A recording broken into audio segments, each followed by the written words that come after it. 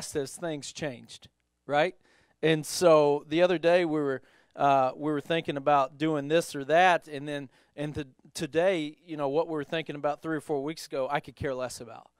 And so I, am reminded um, to to watch for the signs.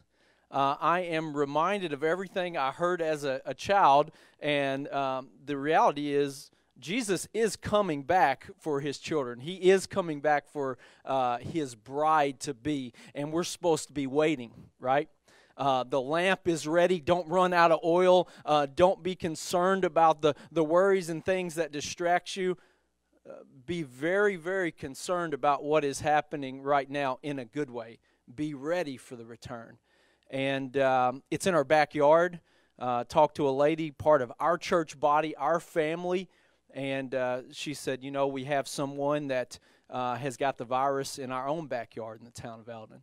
And so I want you guys praying for that family, um, lifting them up, letting them know we have your back in prayer uh, because they are an extended family of our family. And so it's important to, uh, to be lifting them up in prayer. Um, this evening, I am reminded of something that I saw over the park in uh, Eldon one time. It said, it said, smile, you're on camera. And what it meant was you were probably doing something you wasn't supposed to be doing. Um, but in this case, you know the world is watching what the church is doing. It's watching.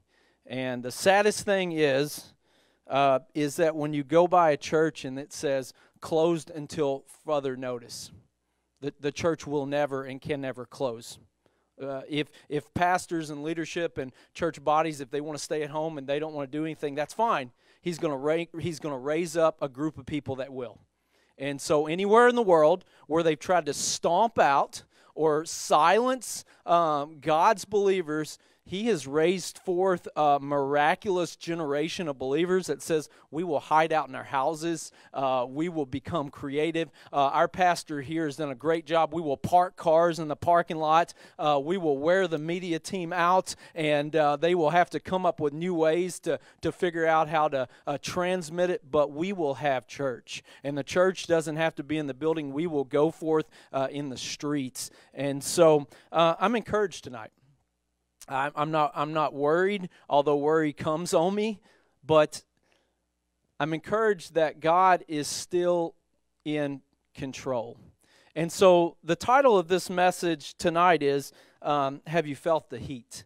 And what that means to me is is when is the last time that the Holy Spirit has impressed on you to do something? And I'm going to give you an example uh, because that's not meant to be elusive. It's meant to be simple. I, I prayed a simple prayer yesterday. And uh, this, you know, this is the kind of prayer growing up. Uh, Lord, I'll do anything you want, but don't send me to Africa, kind of thing, right? Like it, it's awkward. Don't ask him to do something because he's going to ask you to do the one thing uh, that you don't want to do. And so uh, that's kind of fearful. I, and I don't think that that's how he works, but um, it was a real concern. So I prayed. I said, God, uh, put one person in my path today that needs to know about you. Just one just one. And, and I say that to you not because my witness is bold, because uh, oftentimes I am very fearful to share what is within me, but I know that every time that I do that, faith grows inside of me. And so I went to the store. Uh, I thought I was going for um, a little deal to put floors down because mine broke. And I threw it in the air, and then I threw my hammer, and then I went in town, and I said, God, show me somebody that needs to hear you. And I'm walking down the aisles, and lo and behold, uh, there is a, a, young student that used to be a part of our youth group, and uh, and I and, and he started telling me, and he just he just he just looked like things weren't going good, and so we had a discussion um, about how good God is, right? And it doesn't stop there. Then that afternoon, I come home. He he put four people in my path that day. Struck out on a couple. On two of them, I felt like I did a pretty good job, but you know what?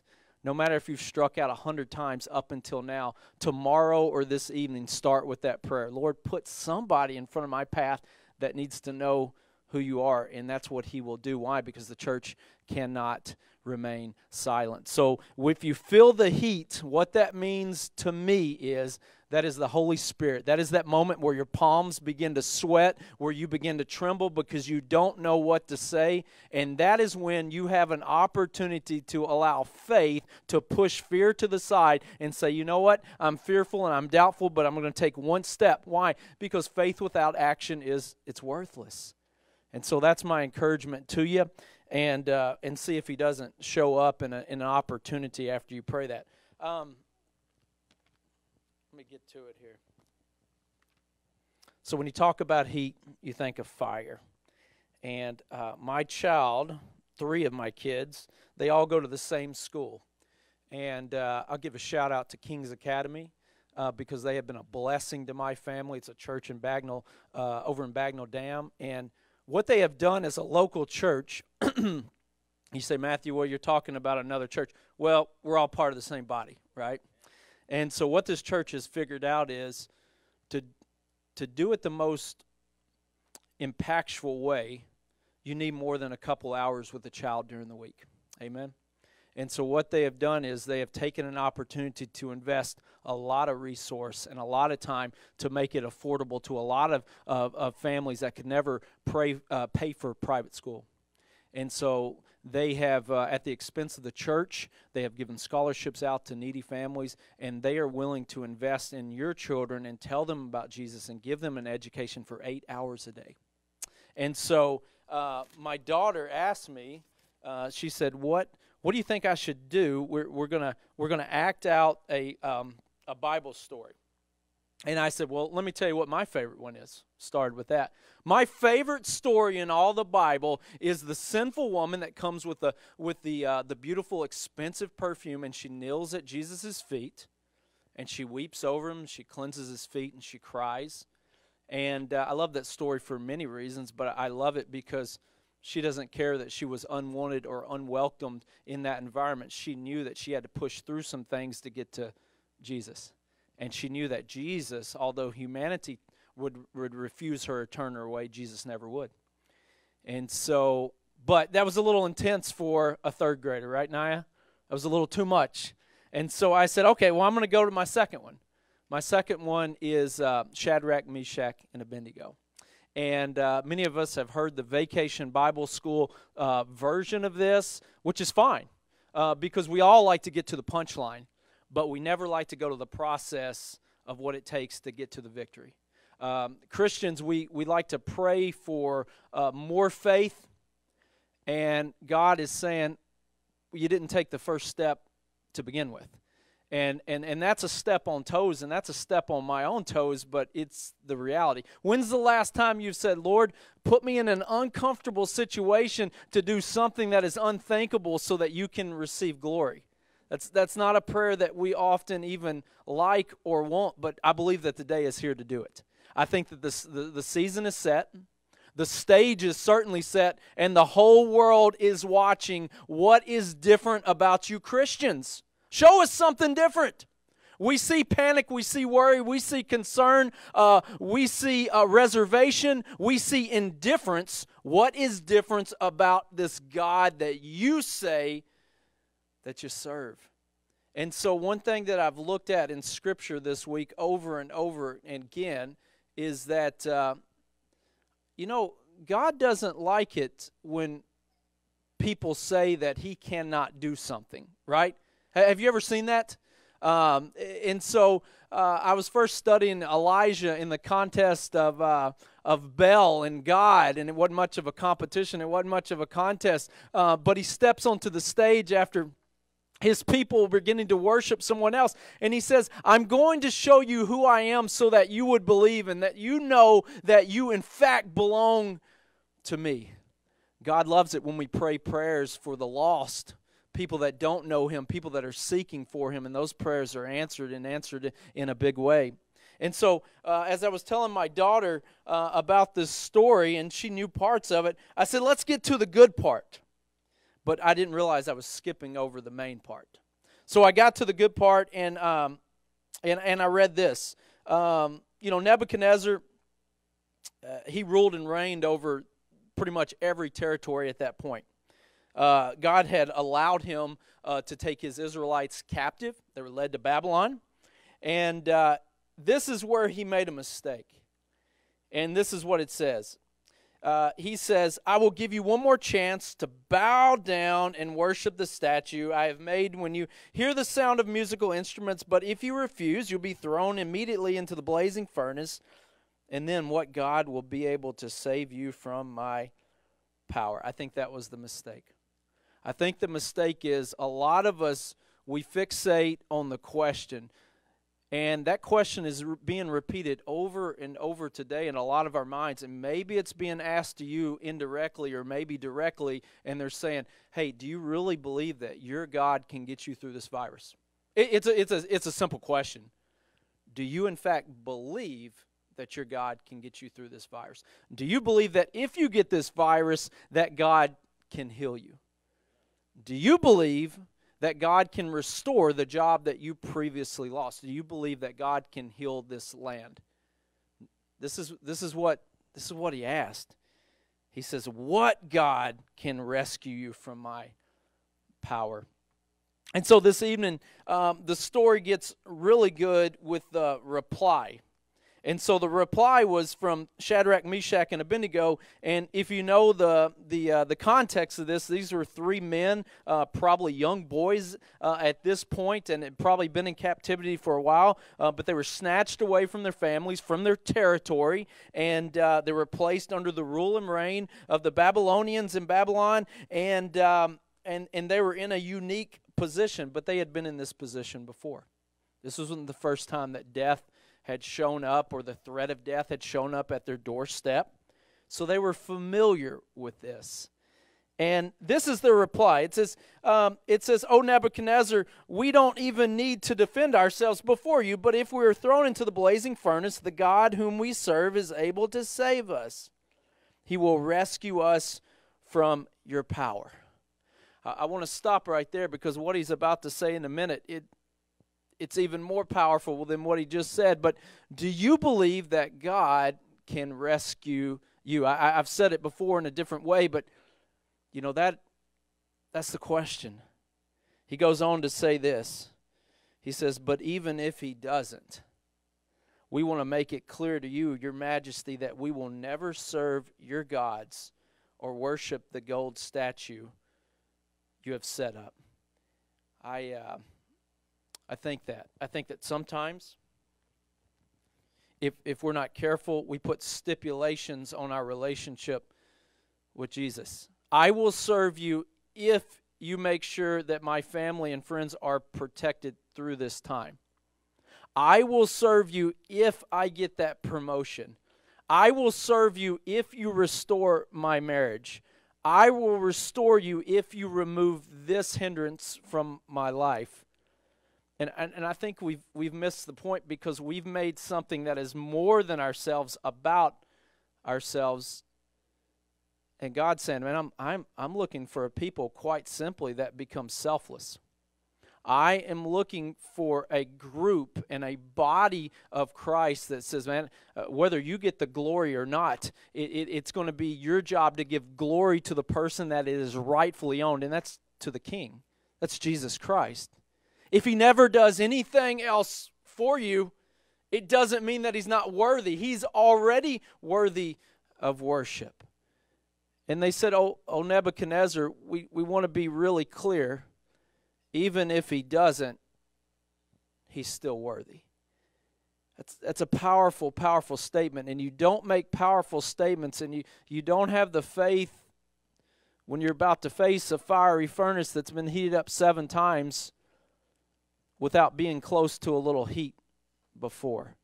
And so the story actually starts in the selection of the menu. And so if you're familiar with the story, you understand that this isn't the first time that three men had stuck out. And today and age, to this day and age, right now, in this time of history, it's really easy to stick out.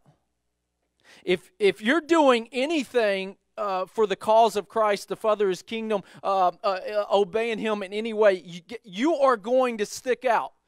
Smile because you are always on camera.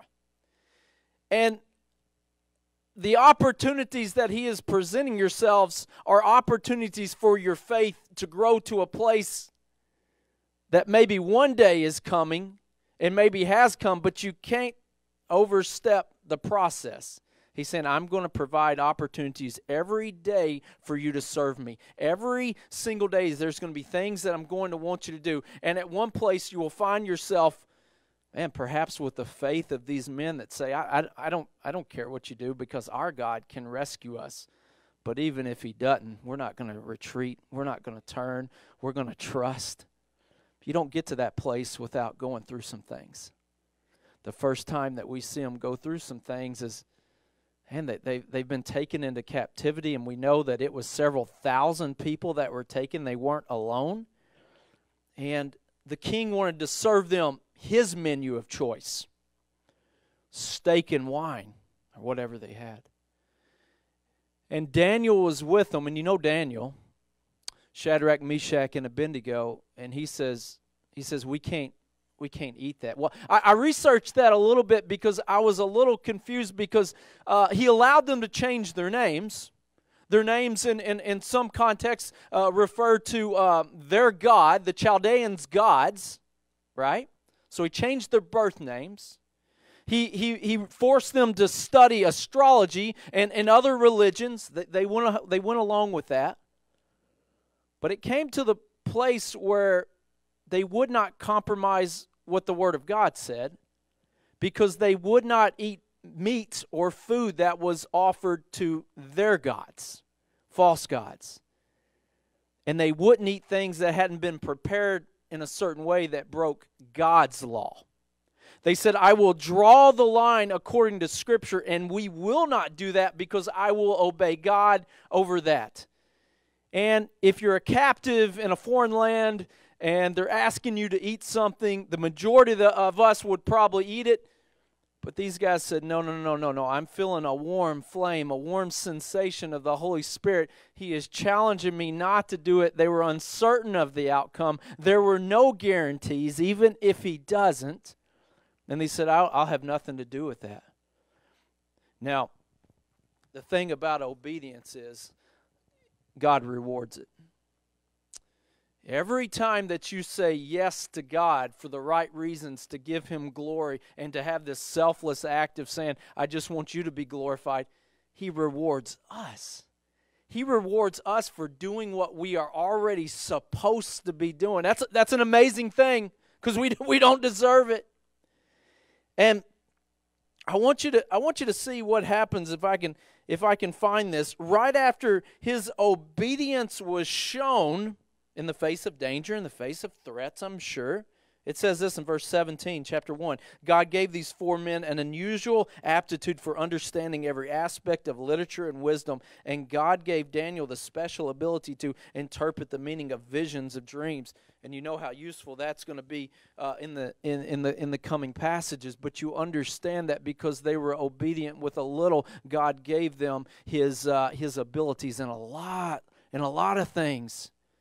He says, You've shown me glory and you've honored me, and now I'm going to give you even more of the little bit that you showed. Now, it's interesting, and I'm going to read this scripture because um, I'm hoping that we find a little bit of encouragement in the little things that we do.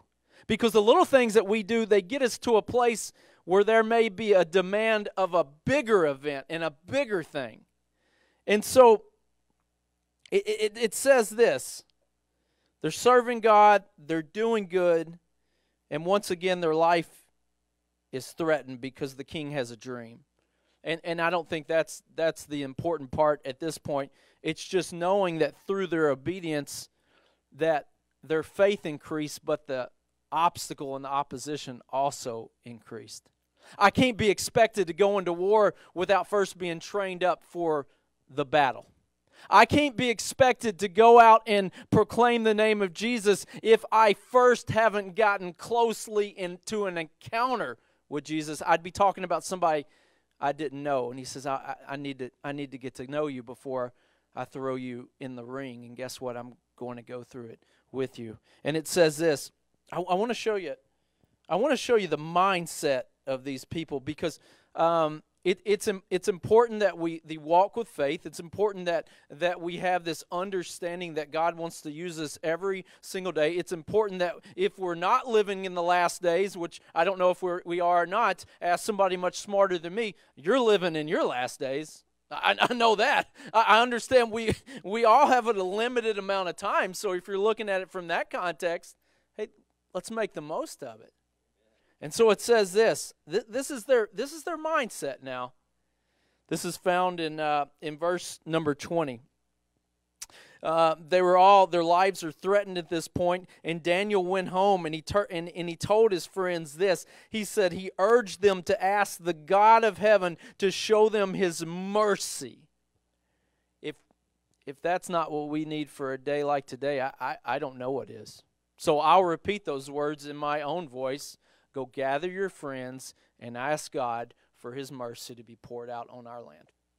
It's, it's that simple. Pray. If you've never prayed before, learn to pray. It's just like I'm doing now, but you're talking to somebody that can do something about it. Pray. Over and over again. He is a God that wants to show his children mercy, but we have to call upon him for it. And it says this it says, He said, Praise the name of God forever and ever, for He has all wisdom and power. He controls the course of world events. He removes kings and sets up their kings, their kingdoms. He gives wisdom to the wise and knowledge to the scholars. He reveals deep and mysterious things. He says he's the one that controls the course of world events if if there's uh, somebody out there and they're they're feel, fearful, they're concerned, they're worried. I mean, I, I, don't know how you couldn't be. I, I go out there and I just think, you know, it's incredible what we've tried to build, build and have built, our forefathers built, and what the principles we stand upon. It was really interesting how easily this kingdom began to collapse. I, I don't know if I'm the only one thought that, Every time I go out in public, I think, wow, we thought we had this all figured out, and we had figured it out that we don't need God anymore, and now we realize He was what was keeping us together. It's interesting. And as I think about that, do you believe that He is still in charge? Because I do. I believe that God saw this coming. I believe and I hope and I'm praying for His mercy that He will see us through. But I also believe that is, if He doesn't, He's got a plan for those that believe. He's not going to forget about us, He hasn't forsaken us. His word says that He will not loosen His grip on it, He will not blot our names out of Lamb's book of life. These are promises. And the Word of God says, My God keeps His promises no matter what happens, we don't have to be fearful. No matter what happens, we don't have to dig ourselves in, as they say.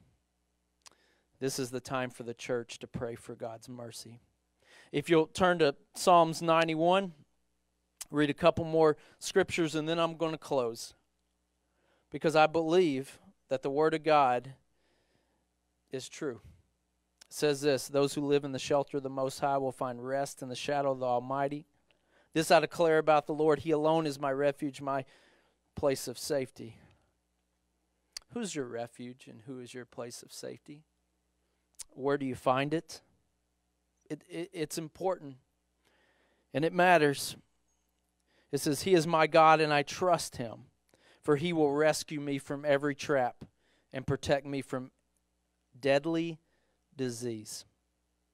He will cover your you with his feathers, his shelter with your wings. He will shelter you with his wings. His faithful promises are your armor and protection.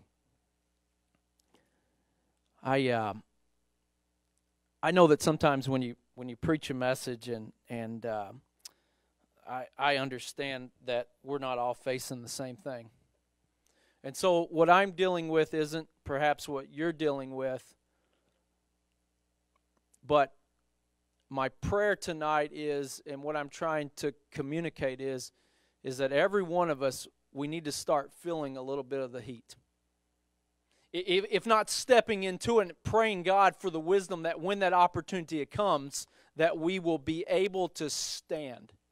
I don't think any of us are going to be um, uh, standing before a ruler or, or uh, a king. Uh, I hope this doesn't happen uh, and they say we're going to throw you in the fiery furnace. But I believe that there is the Spirit of God that is living and dwelling in each one of us that has given us opportunities that saying, hey, listen, you may face a little bit of rejection, you may face a little bit of uncertainty, but get close to that flame that Holy Spirit urging you to do something. Now's not the time to be quiet. Now's not the time to, to, to stay at home. I'm not, I'm not saying, hey, let's run the streets, let's disobey authority. That's not what I'm saying at all. I'm saying when decision time has to be made, trust in the Lord.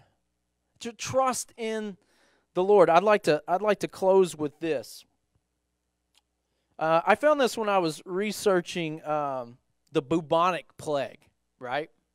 And I was trying to make comparisons of the, the Spanish flu, the bubonic plague, SARS and MERS, H1N1, all the different catastrophes that we had. And then I realized, you know what?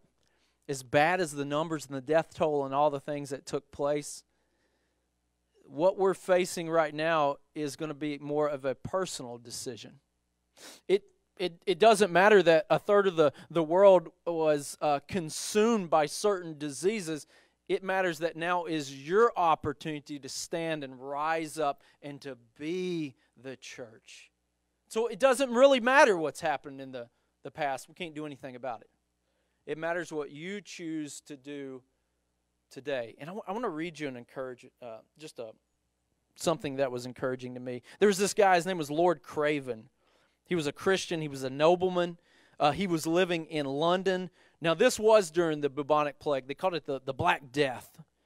And uh, he was living in London. London was ravaged in the 15th uh, century. In, um, and so, in order to escape the spreading pestilence, Lord Craven, uh, he was determined to leave the city for his country home, as many of his social standing did. Now, I want to I want to say this so so we're really clear. There's a lot of people that have come from the city into uh, into the lake area. I, I ain't talking about them, okay? We're talking about what we are doing when presented with a decision that will give God the glory and will allow us to be selfless, right? That's all I'm talking about. Word of God says to take up your cross. And when he was talking about that, he was talking to a group of people that understood that, uh, uh, that when somebody hung upon the cross, it was because their life was no longer theirs. The Word of God also says that if you do not lose your life, you will not gain your life.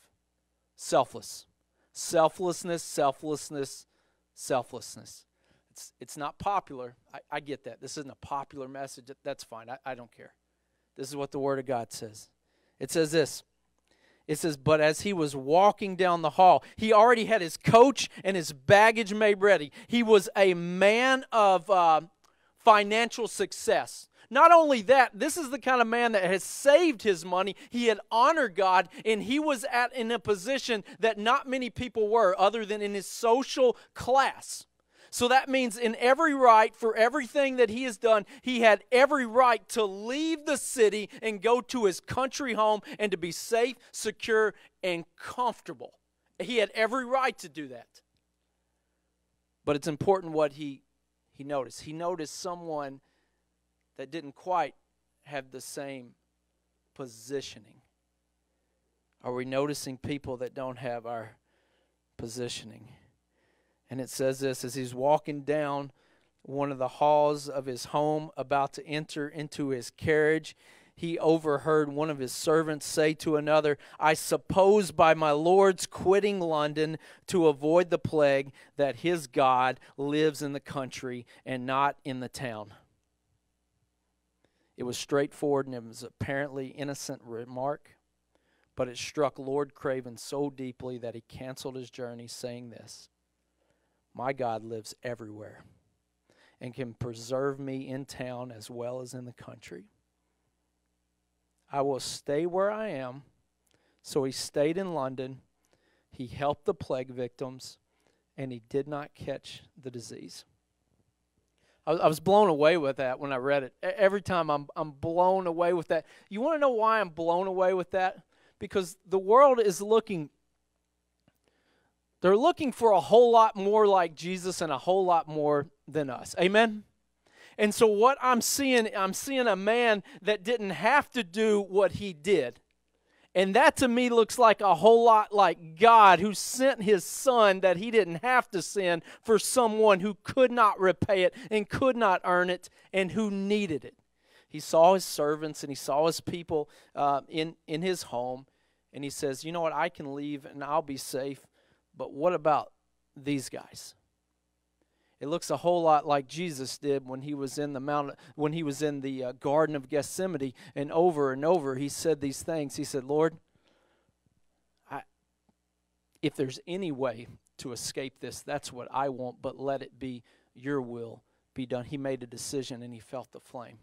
Three different times he called out to God for the cup of suffering to be taken away, the cup of suffering to be taken away from him.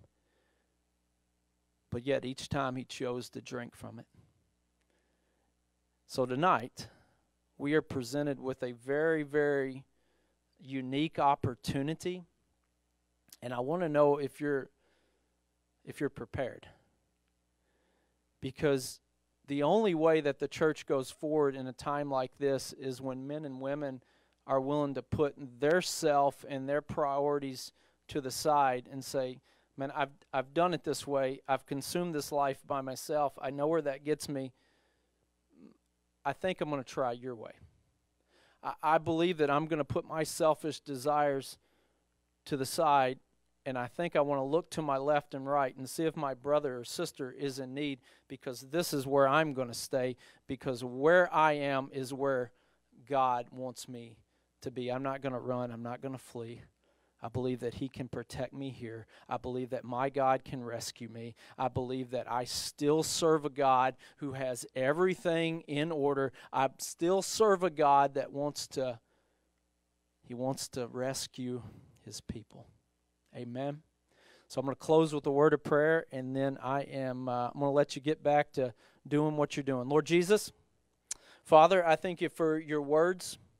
Lord, and I am asking for a group of people in this area and other areas that have stumbled across this, Lord Jesus, that they would get down on their knees and they say, God, show us and give us your mercy. Heal our land. Father, I'm asking for the town of Eldon and Barnett and Versailles to be healed by your goodness, Father. And I am asking that the, oper- that the avenue that you choose to use is your local churches. Father, you have placed them strategically in, in positioning for times like this that said, I want you to help this person and I want you to help this group of people.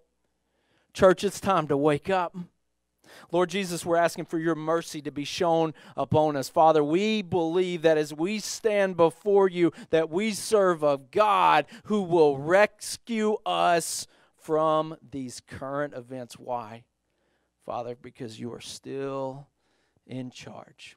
We praise you and we thank you for tonight, Father. And we're asking for opportunities for the church to go forward in the name of Jesus. You've been so, so good to us. Amen.